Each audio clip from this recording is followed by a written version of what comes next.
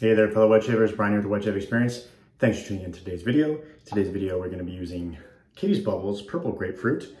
I have do not have a matching splash for that, but I'm going to use Dr. Jon's Flowers in the Dark to uh, follow that up. We're going to be trying out the one blade again. Um, we're really trying to kind of compare some of the um, single edges, the um, supply, the twig, and the one blade. So this would only be my second use of the one blade. Uh, I have my Smilez for Milez, um, synthetic TRC, um, the Razor Company collaboration brush, and we're all lathered up in the bowl. So I'm gonna wet the face and we'll get started. I will announce the winner in this video of the, uh, let me grab my towel, of the um, Tonstrina, uh, Gothorum Tonstrina uh, set that I announced uh, a giveaway on on the Vita video. So I will announce that in today's video because I want to get that announced and out. So stay tuned here. Um, so I got this recently. This is a two ounce pour from Catie's Bubbles. So if you buy directly from Catie's Bubbles website, there are a few scents that are available in a two ounce pour. You pay a little bit more per ounce doing that. This uh, tub was uh, $8 for two ounces. Uh, and I think the full four ounce tub on this particular one is like 14.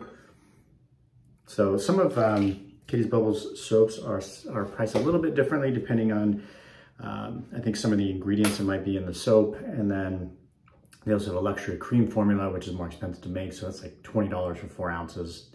18 to 20 or something like that. But anyways, this is in their regular base. Uh, it's not the um, luxury cream formula. It's a very nice base. Um, you don't really think about grapefruit and lavender. So that's the purple grapefruit, grapefruit and lavender going together. I would never really thought about that. Uh, I know this is um, Jeremy, the Traveling Shaver, one of his favorite scents. I think my camera's a little crooked, so I'm gonna try to fix that there. Sorry about that. Um, he's used it on his channel a few times. Uh, I made another, I made an order with uh, Catie's Bubbles, so I threw this in there. And um, so I've been interested in this scent and I like it enough that I, at some point, will definitely pick up the splash. Scent notes are simple, lavender and grapefruit. Um, scent strength on the soap is you know, a low medium.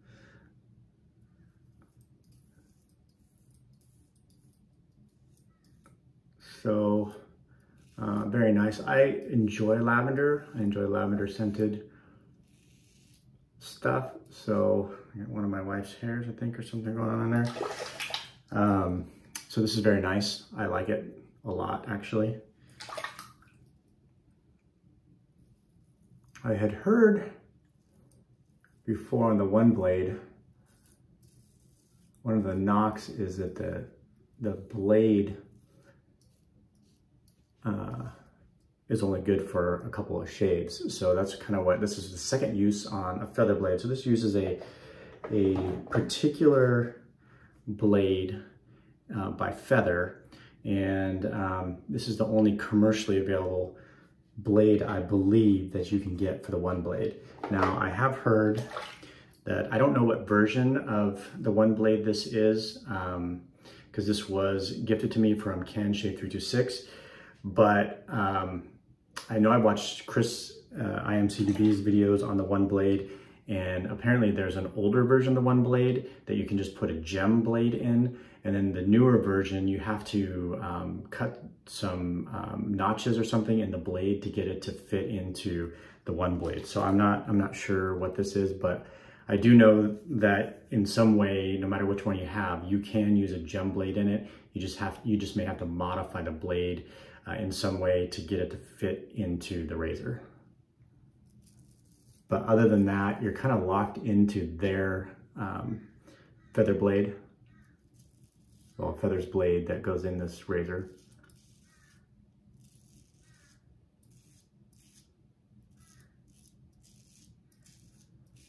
So this razor does um, pivot, although um, I don't really put enough pressure, I don't think, on the blade to really engage that pivot.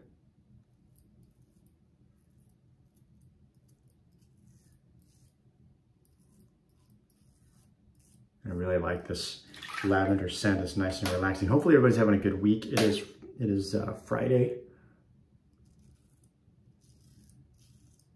It's my Friday. Had a couple rough shaves this week with uh, the ultra close plate on the supply company. So I think that's partially the plate and partially my technique. Really need to work on that um, with that particular razor. And then, um, so yesterday I just did a shave off camera and I used my Merkur 34C. And I think I'm good to go now. Much milder razor. That's kind of my go-to when I need a nice, easy, quick uh, shave. I'll go a lot of times to the Merkur 34C.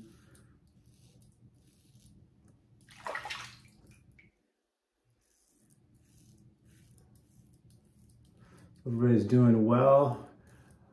I see that our, our, our Oregon fire is spreading its smoke across the country. So some of you may have been getting, I've seen some pictures of New York uh, from the smoke from this fire that's raging in southeastern Oregon.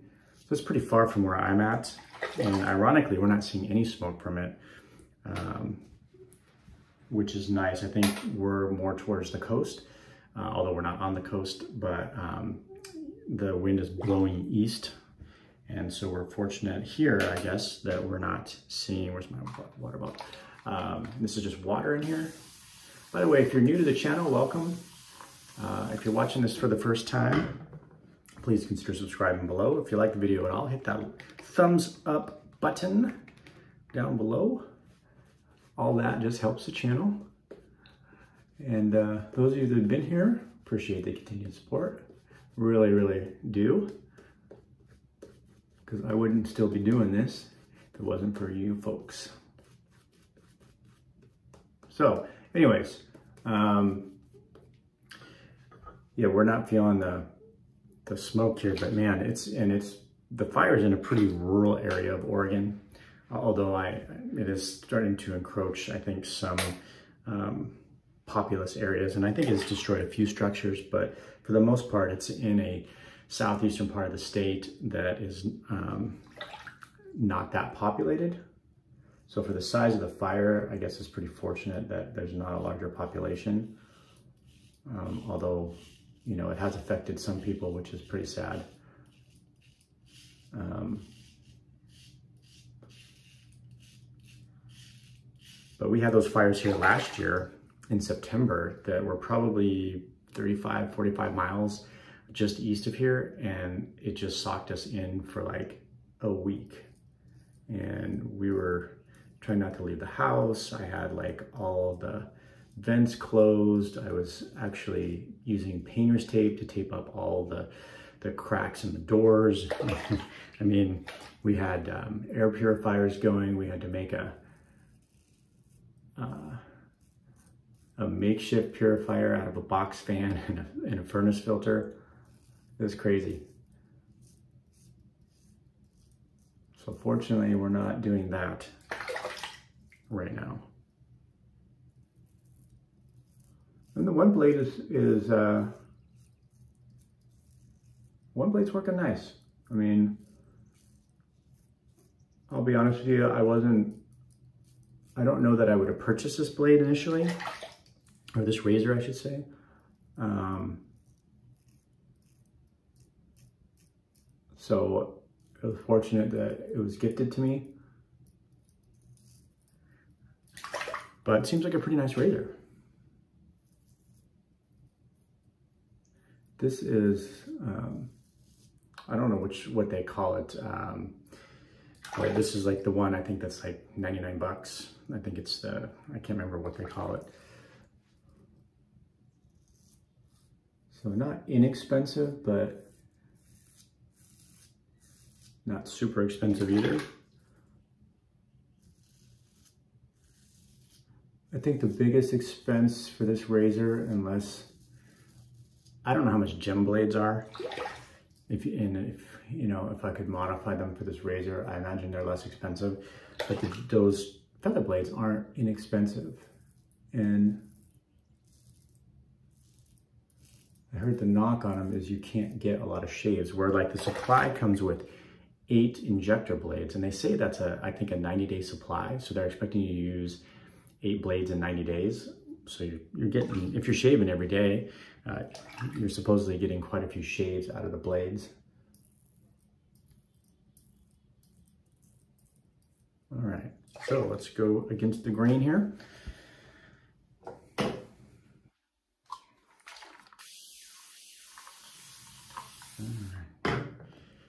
And this is just, I, I just really like lavender. Um, it's just a calming, relaxing scent to me. It's just such a nice shape. And Catie's Bubbles, by the way, if you haven't tried it, you should give them a try. We've been around a long time. I mean, you know, if you're if you're looking at, you know, the labels, they don't have the fanciest labels. They're not out there trying to create a label for your shave of the day picture on Instagram. Um, you know, I also picked up Waterlyptus, which is a nice scent, but it's a it's a pretty basic label um, from a design standpoint. Uh, but Chris, the soap maker, has been around in the community a long time. He's a great guy, very active on social media, um, particularly on Facebook and in many of the groups there. Definitely getting some tugginess on the against the grain for sure. You can still hear that feedback, so there's still hair to cut. Um, but he makes a, just a solid soap.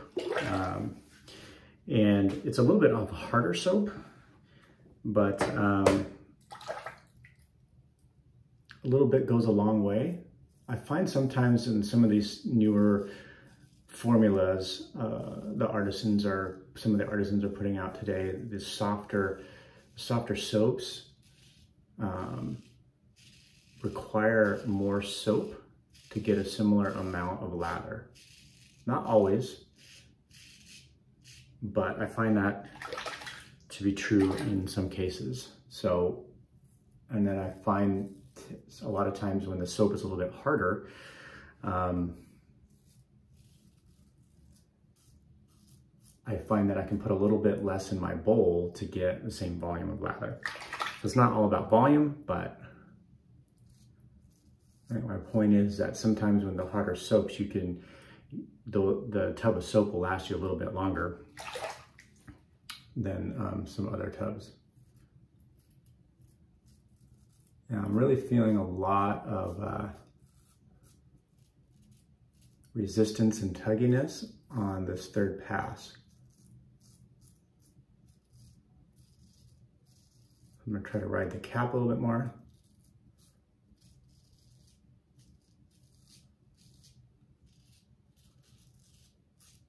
Oh, our winner. Huh. Sorry, I got talking there. Um, all right, let's get to that in a second. Let's finish this. So I don't do the typical traditional fool's pass against the grain in the mustache area.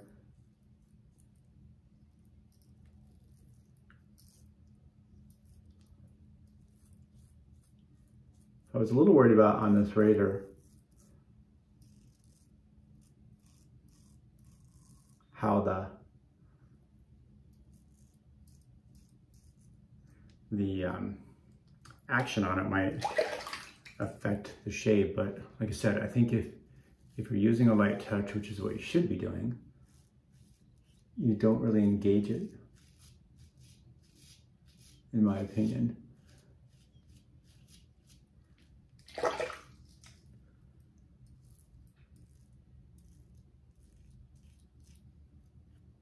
All right. Okay, so let me uh, get all this off here. So we'll just, um, before we get to the post, we'll inject the winner here. So here we go. There we are.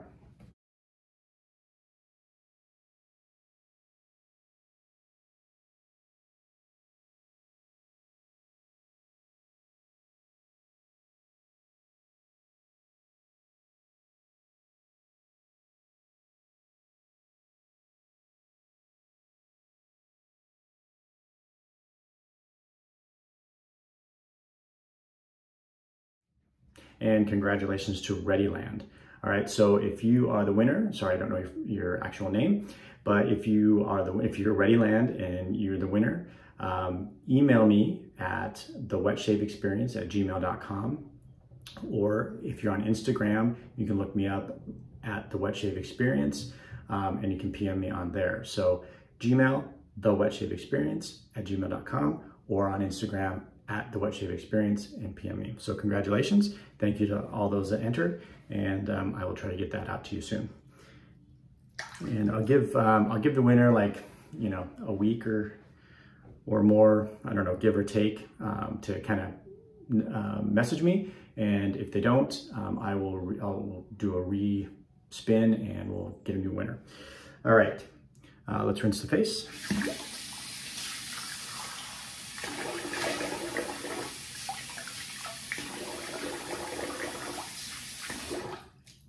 So I'm still finding certain areas where like right in here particularly, I'm gonna try to do a little touch up there.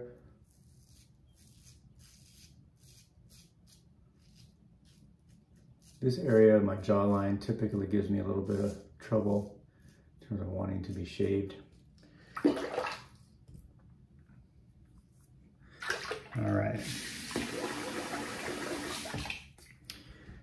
And since I don't have the matching splash, we'll go with what, I mean, can't go wrong with Dr. Jon's Flowers in the Dark. This is one of the best, also fantastic lavender scent. Is one of my favorite scents of all time in my den. It's one of the very first sets I got actually when I started wet shaving. Mm, very nice. This also qualifies as a at VBS Live Citrus Week shave because we had the grapefruit in the soap. So gentlemen, cheers. Uh, I missed you guys last night. We had a, a neighborhood barbecue going on and um, I couldn't pop in. So hope I didn't win anything or miss anything. Um, Anyways, thanks for tuning in today, folks. Hope you enjoyed the shave, and we'll see you soon on the channel.